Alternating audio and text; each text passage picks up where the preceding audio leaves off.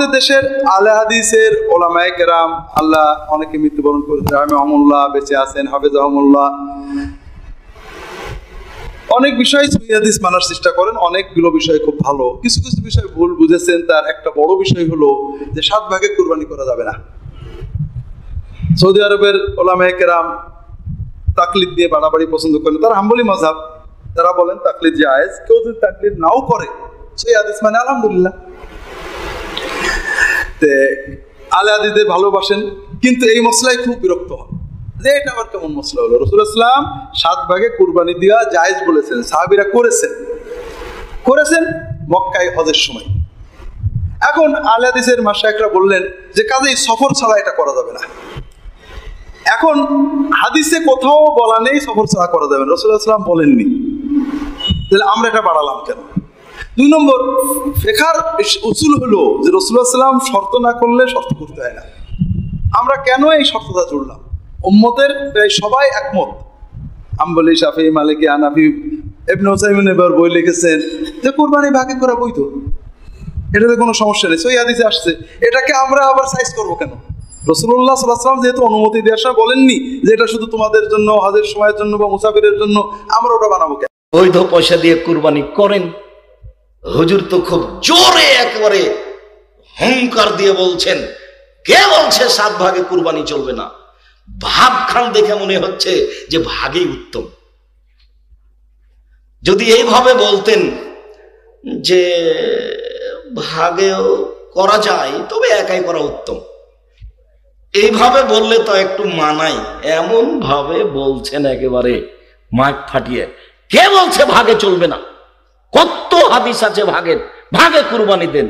ভাবখান কেমন লাগছে বলেন তো দেখি। মানে ভাগে উত্তম মনে হচ্ছে না কথার গতিতে? আল্লাহর কসম, আমি আব্দুর রাজাক বিন ইসুফ দীর্ঘ তিরিশ বছরে আমি কোনোদিন অপ্রয়োজনীয় বাক্য বলিনি। আপনি কুরবানি ফতোয়া ও মাসাইল মৌলানা আবদুল্লাহ কাফিয়াল কোরআশি পড়ে দেখেন? ওখানে উনি লিখেছেন, একটি গরুতে সাতটি অংশগ্রহণ করবে, সাতটি পরিবার, এরকম কোন হাদিস আমি আবদুল্লাহ কাফিয়াল কোরআশি জানি না। নিজের ঘরের মানুষকে দেখেন আগে। এত জোরে হংকার কেন? আমি ওইভাবে বলিনি। আমি বলেছি, সাতজন চলে, সাত পরিবার চলে না।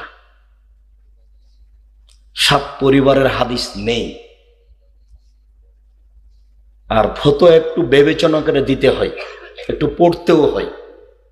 আমি কম জানি এ কথাই ঠিক, তবে সাতানব্বই সাল থেকে আমি ফতোয়া লিখি। আমার ফতোয়া লিখা কাজ। আমি আব্দুর রাজাক বিন ইসুফ দিনের খিদমতে মানুষ হিসাবে জীবন বাজি রেখে চেষ্টা চালিয়ে যাচ্ছি। মানুষ ভুলের ঊর্ধ্বে নই, কোথাও ভুল থাকতেও পারে। একটি গরুতে সাতটি পরিবার অংশগ্রহণ করবে এমন হাদিস। আমার এই দীর্ঘ তিরিশ বছরের শিক্ষক জীবনে, এই দীর্ঘ বিশ বছরের গবেষণা জীবনে, এই দীর্ঘ ষোলো বছরের ছাত্র জীবনে আসেনি। তবে সাতজন আছে। তবুও সফর সাত ভাগে কোরবানি দেওয়া জায়েজ। বেদাত হবে কেন? রসুল্লাহ সাল্লাহ সাল্লাম তিনি সাত ভাগে কোরবানি দিয়েছেন এবং তিনি কোরবানির নির্দেশ দিয়েছেন। এগুলি সহি হাদিজার প্রমাণিত। অনেকে বলতে পারেন যে এগুলি কোরবানি সফরে ছিল।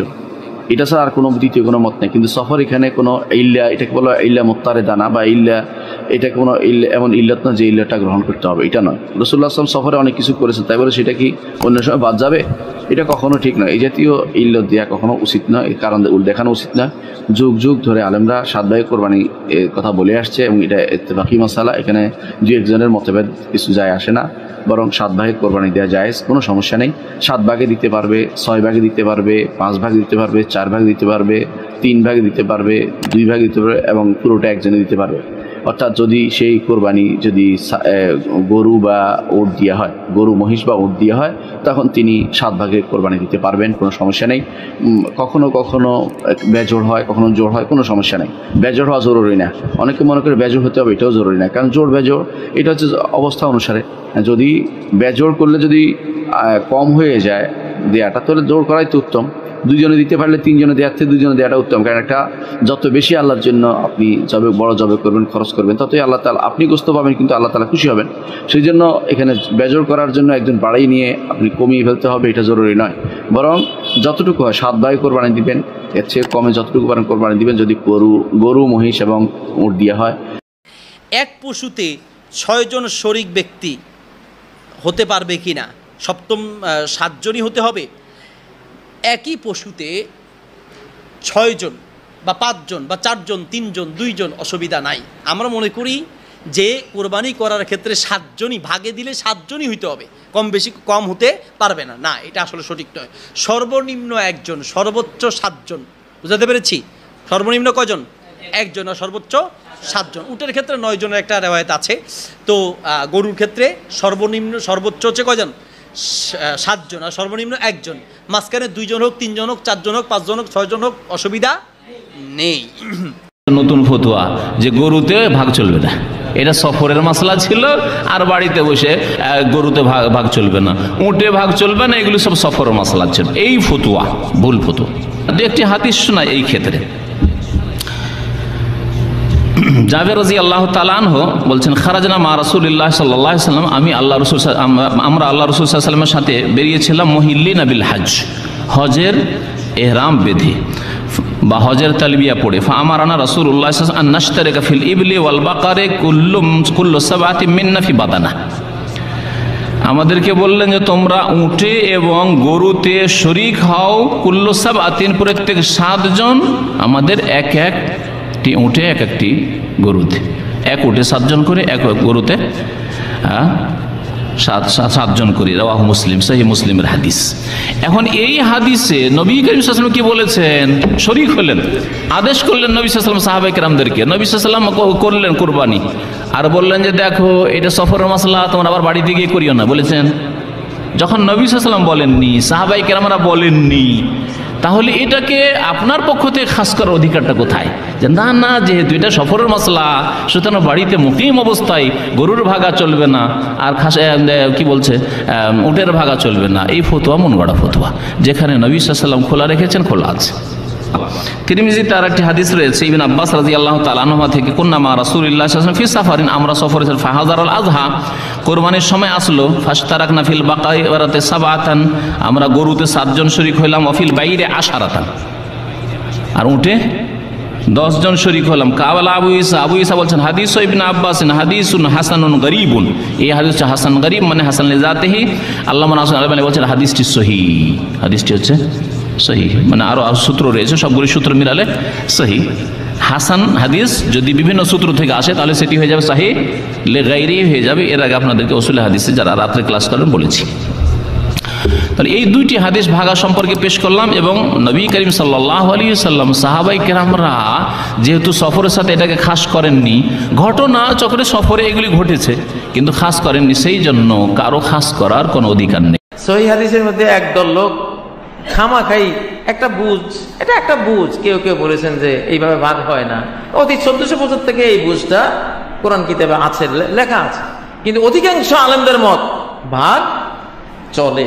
হাদিসে ডাইরেক্ট হাদিসে এসছে আল বুদিনাতুয়ান সাবাতিন ওয়াল বাকারাতুয়ান সাবাতিন অ্যাবসোলুট একটা হাদিস, নিরঙ্কুশ স্ট্রং একটা হাদিস, সহি মুসলিমে বর্ণিত হাদিস।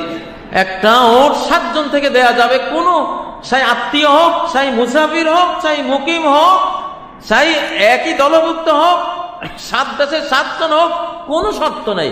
আল বাকারাতুয়ান সাবাতিন, একটা গরু সাতজন দিতে পারবে। ক্লিয়ার মাসালা? খুব বেশি যে প্রশ্নটি করা হয়েছে, সেটি হচ্ছে জানতে চাওয়া হয়েছে, সাত ভাগে কুরবানি করা যাবে কিনা? এই ধরনের প্রশ্ন কিন্তু আমরা আগে শুনতাম না। রিসেন্টলি কিছু কিছু স্কলারদের আলোচনা বা এতে করে লোকজন হয়তো বিভ্রান্তিতে ভোগেন কিংবা একটা ধোঁয়াশা তৈরি হয়, ফলে এই প্রশ্নটি করা হচ্ছে। আমরা আবহমান কাল থেকে আমাদের প্রিয় মাতৃভূমি বাংলাদেশে হয়তো ছাগল কুরবানি দিয়েছি অথবা গরু কুরবানি দিয়েছি সর্বোচ্চ সাত ভাগে। সো এটা আমাদের সবার কাছে জানা ছিল। এ নিয়ে আগে সংশয় ছিল না। ইদানিংকালে অনেকের মধ্যে এই বিষয়ে সংশয় জেগেছে। কেউ কেউ বলে থাকেন যে ভাগে যদি কুরবানি দেওয়া হয় সাতজনে মিলে গরুতে বা মহিষে বা উঠে, এই ভাগে কুরবানি হবে না, এটা অনেকে বলে থাকেন। এই কথাটি আসলে ঠিক নয়। আপনি যদি ভাগে কুরবানি দিতে চান, এটি জায়েজ আছে এবং একটি উঁটে বা মহিষে বা গরুতে আপনি সর্বোচ্চ সাতটি ভাগে কুরবানি দিতে পারবেন ইনশাআল্লাহ। এ ব্যাপারে সহি মুসলিমের একটি হাদিসকে আমরা এখানে উল্লেখ করতে চাই। সৈদানা জাবের রদিয়াল্লাহ তালাহ থেকে বর্ণিত তিনি বলেন, কলা হাজাজ নামা রসুলিল্লাহ সাল আলহি ওয়াসাল্লাম, আমরা আল্লাহ রসুল সাথে হজ করেছি ফা নাহারনাল বা আনসা বা সেখানে আমরা উট কুরবানি দিয়েছি সাতজনের পক্ষ থেকে। ওয়াল বখরাতা আনসা বা আর আমরা সেখানে গরু কুরবানি দিয়েছি সাতজনের পক্ষ থেকে। খুব সুস্পষ্ট। একটি উটে ওনারা সাতজন অংশগ্রহণ করতেন, একটি গরুতে সাতজন অংশগ্রহণ করতেন। তো এ হাদিসের আলোকে অনেকে বলে থাকেন যে এটি হজের সময়, সফরের সময়, কিন্তু মুকিম অবস্থায় সাত ভাগে দেয়া যায় না। আসলে এই কথাটিও ঠিক নয়। কারণ সুনানে আবু দাউদের আরেকটি হাদিসে এসেছে, যেখানে আল্লাহ রাসুসাহ ইসলাম সুস্পষ্ট বলেছেন, সেখানে হজ বা কোনো সফরের উল্লেখ নেই। সেটা হচ্ছে জেনারেল স্টেটমেন্ট, অর্থাৎ আল বাকরাত আনসাবা গরুতে সর্বোচ্চ সাত অংশ দিয়ে কুরবানি দেওয়া যায় ওয়াল জাজুর ও আনসাবা আর উটের ক্ষেত্রেও সর্বোচ্চ সাত অংশ দিয়ে কুরবানি দেওয়া যায়। তো এই হাদিস, দ্বিতীয় যে হাদিসটি উল্লেখ করলাম, এগুলো হচ্ছে, এটা হচ্ছে জেনারেল স্টেটমেন্ট। সেখানে সফর, মুকিম কোনো কথা বলা হয়নি। ইন জেনারেলি বলা হয়েছে যে উটে সাত ভাগ দেওয়া যায় গরুতে সাত ভাগ দেওয়া যায়। সো আমরা যারা ভাগে কুরবানি দিচ্ছি, সাতজন মিলে একটি গরু আপনারা নিঃসন্দেহে সানন্দ চিত্তে নিশ্চিন্তে কুরবানি দিতে পারেন। সহি হাদিসের আলোকে এটি সাব্যস্ত, এতে কোনো সমস্যা নেই ইনশাল্লাহ তবে ভাগে কুরবানিতে কিংবা যৌথ কুরবানিতে কয়েকটি বিষয় আমাদেরকে খেয়াল রাখতে হবে। নাম্বার ওয়ান হচ্ছে নিয়ত। আপনাদের ইন্টেনশনটা ক্লিয়ার হতে হবে। প্রত্যেকেরই যাতে একই ইন্টেনশন থাকে, সবারই যাতে ইন্টেনশন থাকে যে শুধুমাত্র আল্লাহ তালা সন্তুষ্টির জন্য আমরা এই কুরবানি দিচ্ছি। এখানে কয়েকজনের যদি ইন্টেনশন থাকে যে আল্লাহ সন্তুষ্ট, অন্যজনের যদি নিয়ত ঝামেলা থাকে, তাহলে কিন্তু কুরবানিটা প্রশ্নবিদ্ধ হয়ে যাচ্ছে। কারণ ইন্নামাল আমাল বিন্নিয়াত, ইয়ানি ইন্নামা সাওয়াবুল আমালি বিন্নিয়াত। সমস্ত কাজের প্রতিদান দেয়া হবে আপনার ইন্টেনশন বা নিয়তের উপর ভিত্তি করে। সো এজন্য যারা খুব বেশি মুখলেস, খুব বেশি মুত্তাকি, তারা অনেক সময় যৌথ কুরবানি দিতে চান না। তাদের সামর্থ্য না থাকলে ছোট একটা ছাগল দিয়ে তারা একাকি কুরবানি দিতে চান। The safe his he want to be in the safer side কারণ যৌথ কুরবানি দিতে দিতে যে, কার মনে কি চিন্তা, কার মনে কি নিয়ত, আমরা কিন্তু কিছু জানি না। সো যদি যৌথ কুরবানি দেন, কুরবানির আগে সবাইকে এটা কনসার্ন করে দেওয়া রিমাইন্ডার দেওয়া যে, ভাই, আমাদের কুরবানিটা হবে শুধুমাত্র, কেবলমাত্র আল্লাহ তালা সন্তুষ্টির জন্য। অন্য কোনো নিয়ত জন্য না থাকে, তাহলে কিন্তু আমাদের কুরবানি বরবাদ হয়ে যাবে। এটা হচ্ছে প্রথম কনসার্ন দুই নম্বর কনসার্ন হচ্ছে হালাল উপার্জন দিয়ে কুরবানি হতে হবে। যৌথ কুরবানিতে কেউ কেউ যদি এমন থাকে যাদের উপার্জন হালাল না, সেই কুরবানি কিন্তু আল্লাহ তালার দরবারে কবুল হবে না। সো এটা খুব গুরুত্বপূর্ণ একটা বিষয়। আরেকটা হচ্ছে লৌকিকতা। লৌকিকতা যদি থাকে তাহলেও কুরবানি কবুল হবে না। যৌথ কুরবানিতে কারও যদি এটা থাকে যে আমার গরুটা সবচেয়ে বড়, আমাদের গরুটা এলাকার সবচেয়ে বড় গরু, এবং সবাইকে বলে বেড়াচ্ছে যে এইবারের গরুটা সবচেয়ে বড় হয়েছে আমার চেয়ে বড় গরু কেউ দিতে পারে না এই এলাকায়। তো এই জাতীয় যদি লৌকিকতা প্রবণতা কারোর মধ্যে থাকে, তাহলেও কিন্তু তার কুরবানি কবুল হবে না। সো যৌথ কুরবানি যদি আপনারা দিতে চান, এই কোরবানি দেওয়া যাবে কিনা? এটা একটা গুরুত্বপূর্ণ প্রশ্ন আজকালকার যুগে। কারণ কোন কোন ওলামা একরাম বলছেন, ভাগে কোরবানি দেওয়া যাবে না। বরং গরু হোক আর ওঁট হোক, যত বড় পশুই হোক, দিলে একজনের পক্ষ থেকে দিতে হবে। সাত ব্যক্তির পক্ষ থেকে যথেষ্ট হবে। এই যে কথা প্রচলিত আছে, এটাকে অনেক, কোন কোন ওলামা একরাম কি করছেন? অস্বীকার করছেন? আসলে সঠিক কোনটা? এ ব্যাপারে আগেই বলেছি যে একাডেমিক আলোচনা খুব বেশি লম্বাচড়া করার ইচ্ছা নাই এবং সুযোগও নেই। শুধু সংক্ষেপে এটুকু বলব, সব যুগেই সবচাইতে বেশি সংখ্যক ওলামাদের মতে। বলা যায় প্রায় সবার মতে, সমস্ত ওলামা মতেই বলা যেতে পারে প্রায়। গরুর ক্ষেত্রে একটা গরু সাতজন ব্যক্তির পক্ষ থেকে কি হবে? কোরবানির জন্য যথেষ্ট হবে। এক্ষেত্রে বিচ্ছিন্নভাবে যে দুই একজন আলেম বলছেন যে গরু হোক আর ওট হোক, একজন থেকে হবে, সাতজন থেকে হবে না। তাদের যুক্তিগুলা খুবই ঠুনকো এবং খুবই দুর্বল। নবী আলাইসালাম যে সফরে একাধিক ব্যক্তিকে কোরবানিতে অংশগ্রহণের সুযোগ দিয়েছিলেন, তারা বলেন যে এটা সফরের জন্য নির্দিষ্ট। অথচ নবী আলাইসাল্লাম সেটা নির্দিষ্ট করেন নাই, এটা ওনারা নির্দিষ্ট করছেন। নবী আলাইসাল্লামের কোনো নির্দেশ সফরে হোক, হাজারে হোক, সফরের বাইরে হোক, যে কোনো নির্দেশ সাধারণত ব্যাপকভাবেই সবার জন্য, সব সময়ের জন্য প্রযোজ্য হয় যদি কোরআন এবং সুন্নার কোন বর্ণা দ্বারা নবী আলাইসাল্লাম নিজে ওইটাকে নির্দিষ্ট না করে দেন। তিনি সফরে যদি কোনো নির্দেশ করেন, ওই সফরের বাইরের জন্য সেটা কার্যকর হবে কি হবে না? যদি কেউ সফরের জন্য নির্দিষ্ট করতে চায়, তাহলে তার জন্য পৃথক দলিলের প্রয়োজন। বিধায় এটাই হলো বেশিরভাগ ওলামা একরামের মত, বিচ্ছিন্নভাবে কোনো আলেমের মত থাকতে পারে। কিন্তু সে এক দুজন আলেমের কথা না শুনে সংখ্যাগরিষ্ঠ ওলামা একরামের মতের উপর আমল করবেন। গরুর ক্ষেত্রে সাতজনের পক্ষ থেকে যথেষ্ট হবে। তবে একটা কথা এখানে বলতেই হবে, সেটা হলো উত্তম হলো একাকি দেওয়া। ভাগে না দিয়ে কিকে দেওয়া? একাকি দেওয়া। এক্ষেত্রে কারোর কোনো দ্বিমত নাই। একাকি দিতে পারলে সে সবচেয়ে বেস্ট এবং ভালো।